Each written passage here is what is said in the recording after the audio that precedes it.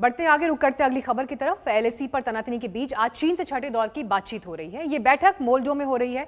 बैठक में पहली बार विदेश मंत्रालय में ज्वाइंट सेक्रेटरी नवीन श्रीवास्तव भी शामिल हो रहे हैं और ये पहली बार है जब सैन्य अफसरों के अलावा डिप्लोमैट हिस्सा ले रहे हैं। खबर है कि भारत चीन से उत्तर से दक्षिण तक चीनी सेना की तैनाती वापस करने पर बात करेगा।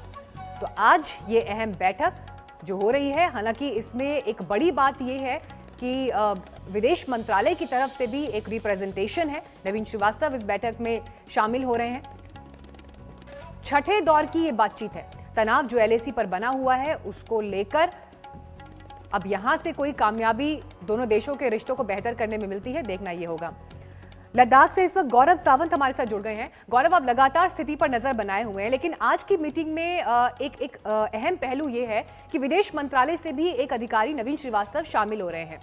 इसके क्या मायने हैं और उनके इस बैठक में शामिल होने से भारत की स्थिति पर क्या मज़बूत असर पड़ता है?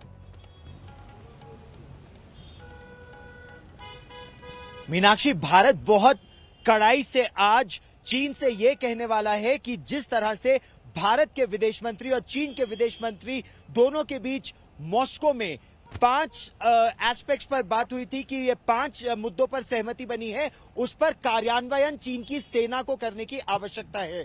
अब तक हो ये रहा था मीनाक्षी कि चीन की सेना कुछ और कह रही थी, चीन का विदेश मंत्रालय कुछ और कह रहा था, और वास्तविक नियंत्रण रेखा पर ज़बरदस्त तनाव और बढ़ता जा रहा था। आज भारत दो टूक के कहने वाला है कि डेपसैंग से लेकर डेपसैंग और डीबीओ जो उत्तर लद्दाख में काराकोरम पहाड़ी के नीचे का इलाका है, जहाँ केवल आज तक इकलौता चैनल है, जहाँ वहाँ से रिपोर्ट करके आया है, डेपसैंग से लेकर पेंगोंगसो तक चीन को वास्तविक नियंत्रण रेखा के उस पार जाने की आवश्यकता है, क्योंकि यही निर्णय हुआ है दोनों विदेश मंत्रियों के बीच कि युद्ध कोई देश नहीं चाहता, शांति चाहते हैं, तनाव कम होना चाहिए। मीनाक्षी, भारत एक रोड मैप चाहता है डीएस्केलेशन के लिए, यानी जो सिपाही हमारे तैनात है वास्तविक नियंत्रण रेखा पे, पहले उनका डिसंगेजमेंट हो फिर डीएस्केलेशन हो और फिर एक रोड मैप आए जो डी इंडक्शन का हो कि जो चालीस हज़ार सिपाही इस समय लद्दाख में वास्तविक नियंत्रण रेखा पर है, वो पीछे कैसे जाएँगे?